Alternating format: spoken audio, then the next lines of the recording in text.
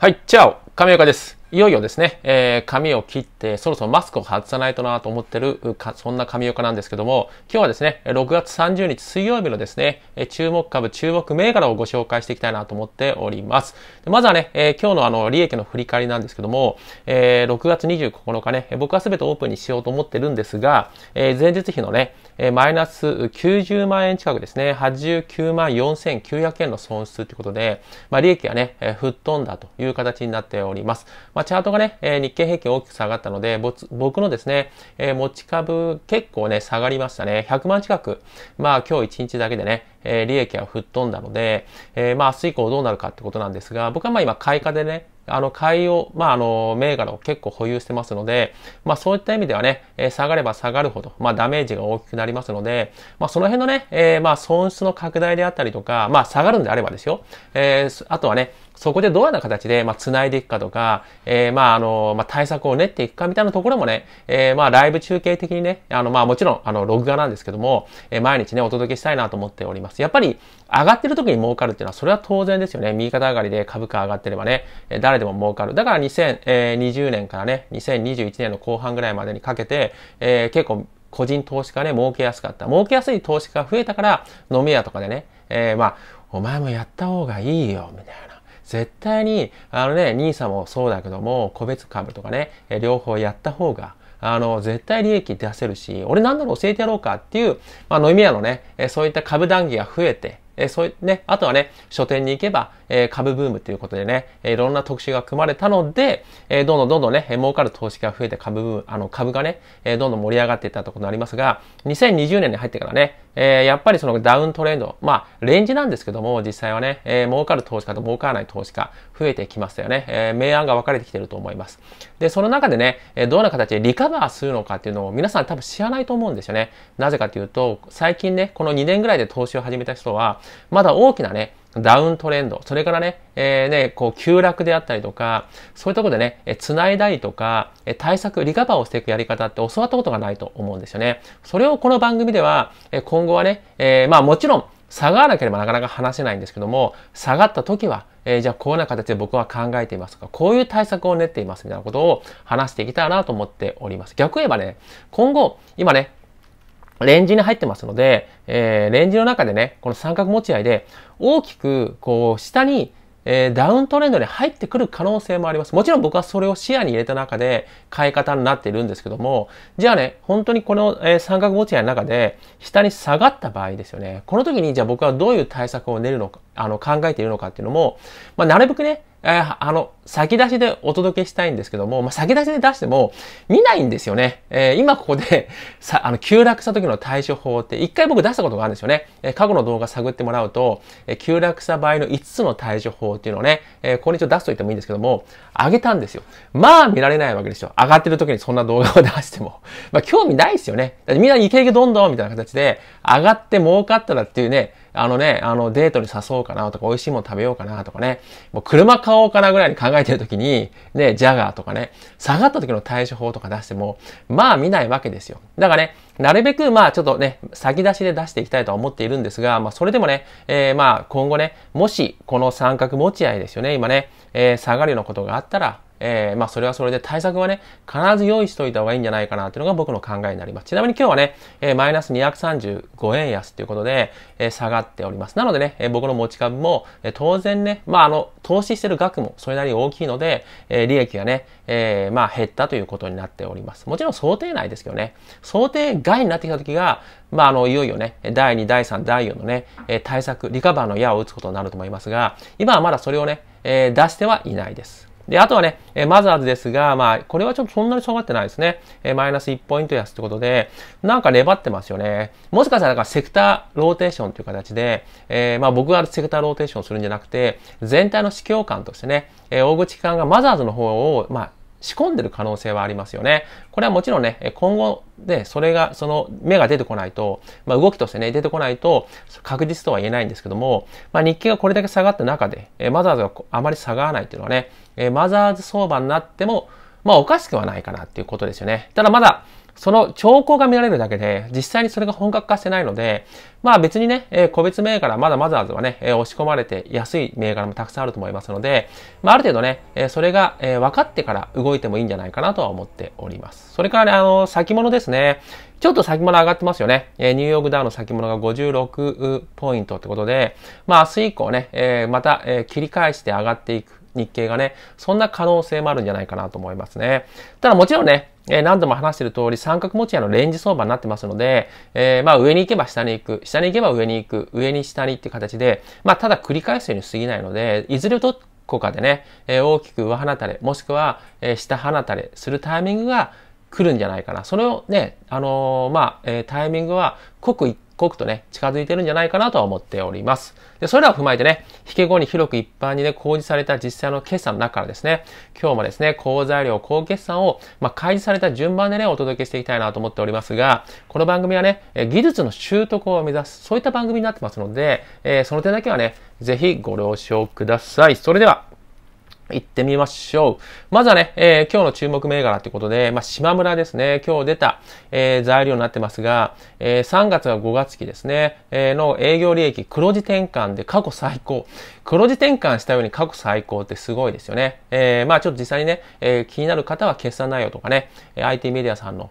引用元になりますので見ていただきたいんですが、で、プライベートブランドなどをね、展開加速したのが、まあ、功を奏したということになってますが、プライド、プライベートブランドっていうのは、今コンビニも力を入れてますが、自分たちで、まあ、提携先でね、ジョイントベンチャーって言って、えする場合もあるんですけども、例えば伊藤忠さんとセブンイレブンが、えタッグを組んでね、えセブンイレブンオリジナルの、まあ、お茶を出すとか、あとはもうセブンイレブン単体でね、え島村、島村だったら島村単体で、自分たちでね、えー、開発した、まあそういった製品を売り出していくと。その方がやっぱり利益率高いですよね。えー、そういった意味で、まあそれが功を奏したということになっておりますが、まあ売り上げはね、えー、このコロナ期において上がってきてるっていうのはね、今までずっと島村っていうのは、なんかニトリに押されたりとか、ユニクロに押されてるっていう形で、ちょっとね、えー、島村ブランドって言いますか、島村伝説ですよね。これが陰っていたところがあったんですよね。これが、え、いよいよね、え、V 字回復してくるっていうことになると、まあ、チャートに現れてくる可能性があるということで、じゃあ実際に1年チャートで見てみると、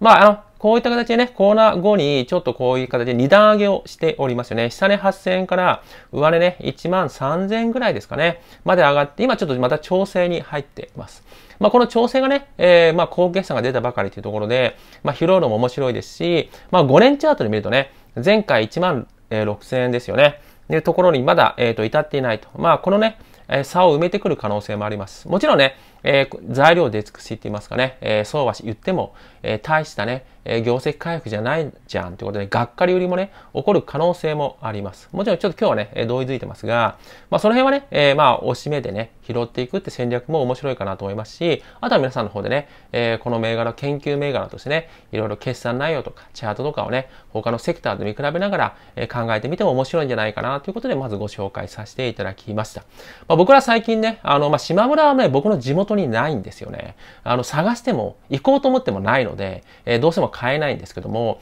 結構島村地方が多いですよね。えー、そういった意味では。えー、僕はだからあの、ユニクロが最近多いですね。ちなみにこの服もユニクロですし、最近着てる服はほとんどユニクロか、無印になってます。昔はね、あの、平日も土日も、まああのね、あの高い服って言いますかね、そんなに、まあ、べらぼうに高くはないですけども、1万円以上の服をね、T シャツは着ていたんですけども、まあ、やっぱ白い服とかどんどん汚れますしね、あの、クリーニングも出さないといけないとかね、えー、下手ってきますよね。そういった意味では、まあ、別にね、えー、まあ、あの、まあ、動画も含めてなんですけども、まあ、そんなにリモートでね、えー、まあ、お客さんと対峙するとかね、ジャケットをね、羽織るときに下になんかね、えー、清掃する必要がないときは、もうユニクロとかでいいんじゃねって思っちゃったんですね。そうしたらこれ一着、バーゲンで買ったので、700円なんですよ、700円。700円で1年2年持つんだったら、ね、で、それで、いざという時にね、高い服を取っておくっていうことですよね。で、もちろん着るんですけども、そうしたらその服もへたらない、へたらないですし、もっと長く使えますよね。えー、なので、その方が得じゃね？みたいなね、えー、そういった風に考えて、最近はユニクロを愛用してます。で、それから電通ですよね。えー、いよいよ本社ビルの売却に一歩前進ってことだと思うんですけどね。えー、まあ、最終、まあ、えー、段階には来てると思うんですが、まあ、これによって譲渡益は890億円と。まあね、買い手ももう決まってね、えー、もう、もう交渉がね、えー、うまくいきそうですよってことだと思います。で、電通はね、えー、まあね、僕、一時期ね、えー、この電通の目の前にオフィスを構えていたことがあります。これね、えー、ビルのね、えー、こう、窓から、向こう側の電通が見えるっていうね。その僕もね、電通と同じような業種なんですよ。僕会社に社やってますけども、えー、広告代理店とかね、あとは PR コンサルティング、マーケティングのコンサルティング会社を経営してるんですけども、まあそういった意味ではね、いつか電通を抜いてやるみたいな形でね、社員と一緒にね、窓からね、こうやって見上げていたっていう記憶があります。まあその電通もね、やっぱりその、まあ CM の、おやっぱりその、なんて言いますかね、陰りがありますし、CM, CM ビジネスですね。それからもう一つですね、やっぱり今、その CM そのものが、電通とか博報堂っていうね、大手の広告代理店がずっとグリップ握っていたんですよね。えー、それが、今、他のね、会社が自分たちの独自のその CM のなんて言いますね、枠売りを始めてますよね。えー、そういった意味では、もう電通だけがテレビの CM を独占するって時代が終わったので、なかなか利益をね、これまでみたいに出しにくい。あとはね、その強さを発揮しにくい交渉ですよね。各その大手スポンサー、花王さんとか資生堂さんとかに、うちをね、通してもらえればみたいなことがやりにくくなったというのがあるので、まだまだね、強さはありますよ。政治に対する強さもあると思いますし、ね、えー、あるとは思うんですが、それでもやっぱ売り上げの限りがあるってことで、えー、売却したんじゃないかなと。だからこのね、利益が出てるってことなので、非常にね、えー、そういった意味では、まあ、あの、今後ね、ここにもまだ居続けるってことなので、えー、まあ、いいんじゃないかなと思います。で、5年チャートで見るとね、えー、まあ、あんまりこの情報がまだ同意づいてないですね。もしくは引け後に出た情報ではなかったと思うんですけども、えー、まあね、前回6200円ぐらいから、えー、一旦ね、大きく落ち込んで、それからまた、また、えっ、ー、と、順張りで、回復傾向にあります。この、ね、トレンドをまあ取っていくっていうのも面白いと思いますし、え、今日出た、え、材料だと思います。まあずっと前からね、えこれはあもちろん小出しで出ていますが、まあそれで、え、含めて、え、明日以降ね、同意ついてくる可能性もあると可能性もありますので、まあ、皆さんの方でね、研究してみても面白いんじゃないかなと思います。で次はね、日立さんですね。日立がね、えー、今後北米に、まあ、重要拠点としてね、市場として、まあ、再評価をしてね、えー、そこに、まあ、力を入れてくるっていうことを、まあ、発表したっていうニュースが出てきました。で、やっぱりね、えー、北米になぜ力を入れるかっていうと、まあ、バイデンさんですよね。えー、バイデン大統領が今後インフラ投資をね、えー、日本円にして確か120億兆円だと思いますね。120から130兆円。で、もちろん、あの、各ニュースによってね、その金額は、金額はまちまちですけども、まあそこにね、えー、まあ力を入れることによって、そのインフラ設備の投資であったりとかね、あとバイデンがやろうとしてるのは、その高速化ですよ。ネット通信の高速化ってことなので、まあ 6G、場合によってね、えー、7G、まだ出てないですけども、7G っていうのも今後出てくると思いますし、宇宙ビジネス、そしてね、えー、あとはね、こういった人工知能とかね、えー、そういうのはとか EV ですね、えー、電気自動車。こういうところに日立がね、えー、投資をして、えー、北米の成長に合わせて、え、自分たちも利益を稼いでいこうという戦略なんだと思います。日立はね、あの、経営力とか経営判断早いですし、力強いですよね。え、やっぱりその、こういった大きな会社、うちみたいなね、え、まあ、あの、少人数のね、10人ちょっとの会社であれば、え、僕の考えてることっていうのは、まあ、ね、伝えれば、LINE で伝えちゃいま、伝えちゃいますのでね、うちの社員には全社員に LINE でこうしよう、ああしようってね、えー、で、既読にならなければ、なんで既読しないの？って まあね、まあまあ、ブラックみたいなもんですけども、まあ、うちみたいな小さい会社だとね、えー、もちろん夜中はやらないですよ。昼間にね、えー、そのぐらいの感じでやるので、まあ、意思疎通早いですよね。まあ、このぐらいのね、あの、十数人の会社で、あの、社長の考えがすぐに伝達しなかったらもうやばいですよ。もう倒産一歩手前だと思っていただいて大丈夫ですね。逆に日立みたいにね、えー、数万人、全世界で数十万人とかになってくると、やっぱりリーダーがしっかりとね、えー、凡事徹底を含めて、えー、自分たちの考えとかね、えー、志とかフィロソフィーとか言いますけども、これをね、伝えていけるような仕組みをちゃんと作っていくことが非常に大事ですし、これがね、おろそかになると、今、東芝で起こっているような問題ですよね。あれ、社員かわいそうですよね。全部その経営陣の起こしてる、要は意思疎通のおろそかさであったりとか、過去にそういったことをね、手をつけてこなかったことが今出てきてますので、まあ、日立はそういうところね、しっかりとした経営基盤、あとね、その過去も含めて、えー、まあ、わかりやすく言うと優秀な経営者にちゃんととバトンを渡してきた。これがね、その東芝との差になってくるんじゃないかなと思いますね。東芝はどちらかというと、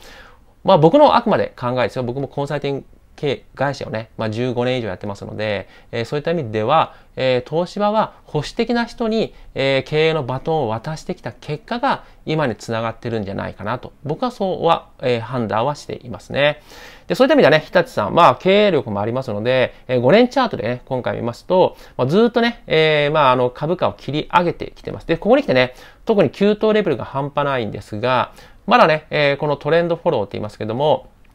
この新高値をね、あの、日々更新してるのを、まあ、追っていくのが面白い。そういった投資をね、得意としてる人にとっては、まあ、面白い研究材料になるんじゃないかなと思いますし、こういった日立みたいなね、えー、銘柄を、まあ、研究することによってね、えー、別の、まあ、銘柄でね、えー、あ、これも日立みたいに、まあ、急騰するんじゃないかなってことで、その経験を活かしていくということができるんじゃないかなと思いますので、まあね、一つ皆さんの方でもチャートとか分析してみて面白いんじゃないかなと思います。で続いてがね、えー、出た、えー、高材料、高決算の方ですね。高決算の方をご紹介したいと思うんですが、えー、ピックルスコーポレーションですね。えー、まずこちらからご紹介したいと思います。で、漬物業界のね、国内トップということで、まあ、セブンイレブンにね、向けた卸が、まあ、3割と。いうふうになっております。で、このピックルスコーポレーションの社名だけではピンとこない人が多いと思うんですが、この CM でね、知名度を上げたご飯がご飯が進むくんですよね。ご飯がご飯が進むくんって、もう誰でもね、えー、そのフレーズは聞いたことあるんじゃないかなと。これ、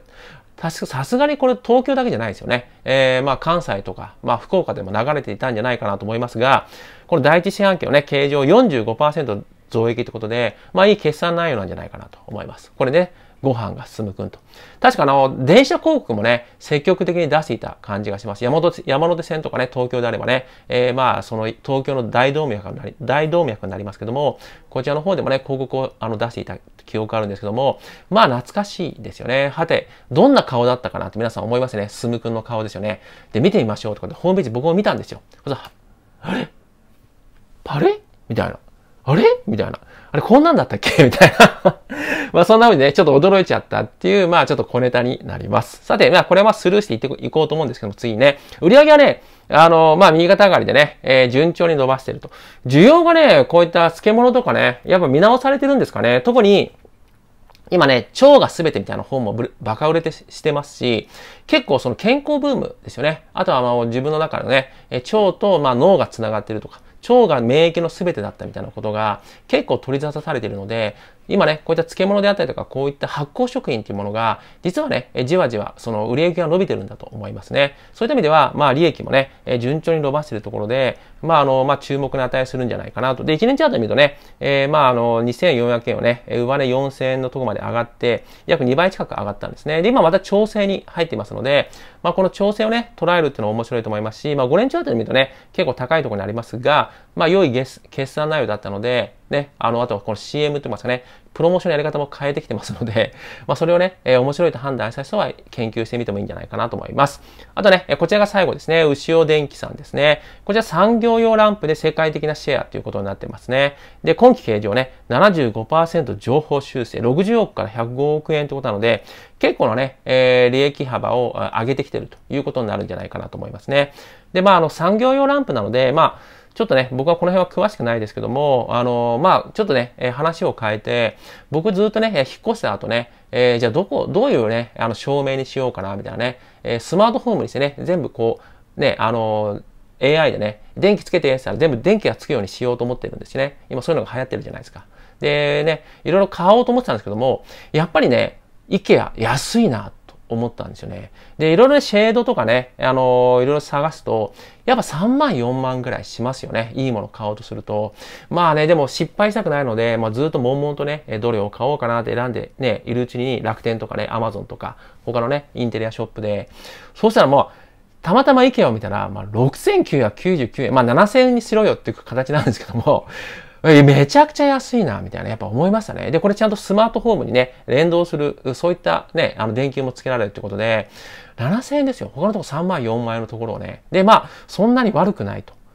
で、IKEA は僕ね、引っ越した時に、やっぱやめ、IKEA では、IKEA はやめようと思ったんですよ。なぜかというと、引っ越した人だったらわかる通り、IKEA の商品って、一度分解すると組み立てられないんですよね。で、まあね、アート引っ越しセンターさんとかで、IKEA の商品はね、やっぱ引っ越しする人には、とっては良くないんですよって言われて、あ、そうなんだな。やっぱそういった、まあ商品性、やっぱり製品って、やっぱりある程度ね、やっぱランクがあるんだなっていうことでやめたんですけども、まあ安いですよね。引っ越す時またね、まあこういったシェードだったら大丈夫ですけども、家具とかはね、一度分解するとダメなんですけども、ダメであることが多いんですけども、まあもう、IKEA でいいんじゃねってちょっと思い始めてます。失敗したってね、6000円ぐらいだったらね、まあいいかなと思いますしね。で、そういった意味ではね、えー、ちょっと後ろ電気の話に戻りますが、えー、売上はね、えー、まあ右肩上がりで上がったり、また下がったりということで、やっぱ2021年ですね、非常に、ただまあ利益が下がって、一度赤字になったんですかね。赤字のようには見えますが、またここに来てね、えー、回復基調になるということで、まあ見直される傾向があるんじゃないかなと思います。で、1日だと見ると、まあそれを先取りしてね、えー、1200円から1800円ということで1.8倍ぐらいまで一度株価を上げております。で、5年チャートで見てもね、もう上値抵抗線のところまでね、えー、実は来ています。この長い5年で見るとね、結構綺麗なレンジにも見えますよね。下値1000円から上値1800円ってことね。ただこれをブレイクすると新高値ブレイクするをね、2年前のブレイクを今しようとしてますので、そうするとね、えー、また、えー、その後ね、新高値を追って上がっていく可能性もあるんじゃないかなと思いますので、もちろんこういうものをね、しっかり研究して、これを新高値ブレイクすると言いますけども、さてどうなるのかっていうのをね、えー、しっかりと審美眼を養っていくのも大事なんじゃないかなということでご紹介しました。今日はこういった形でね、えいくつかのまあ材料と高決算ですね、ご紹介させていただきましたが、まあ下がれば僕もね、今買い方でありますので、大きく利益を失うというのは皆さんと変わらないです。で、あとはね、えー、これがもし今ね、三角持ち合いの中で大きく下がるようなことがあったらね、えー、おそらくつなぎを入れるか、今もね、えー、利益が出てるものを早めに利確をするか、え、いわゆる分割買いっていう形で、追撃でね、え、まあ、あの、わかりやすく言うと、同じ銘柄で下がってるものを、え、追撃で買っていくことをするんじゃないかなと思ってます。で、どれをやるかは、もちろんその相場の、なんて言いますかね、その流れによって変えていきますので、これはね、えー、まあ、なるべく、その状況を皆さんに共有していきたいなと思っております。ただ、それが当たるか当たらないかはね、別です。僕は相場歴21年なので、まあその経験とかね、知識を僕なりに、まあオープンにするだけですので、あとは皆さんの方でね、しっかりと判断して、え他のね、YouTuber さんとかね、えー、高橋ダンさんとか、えー、あとは株の買い時さんとかね、えー、僕が大好きな、あ、ちょっと出てこない。ちょっと出てこなくなっちゃった。とかね、あの、横浜万歳さんでしたっけ？まあ、その辺も面白いですよね。えー、などを参考にしたいとかね、株本を見て、えー、株雑誌ですね、あの、いろいろね、研究してもらえたらなと思っております。それでは今日は以上になります。高速で、GO!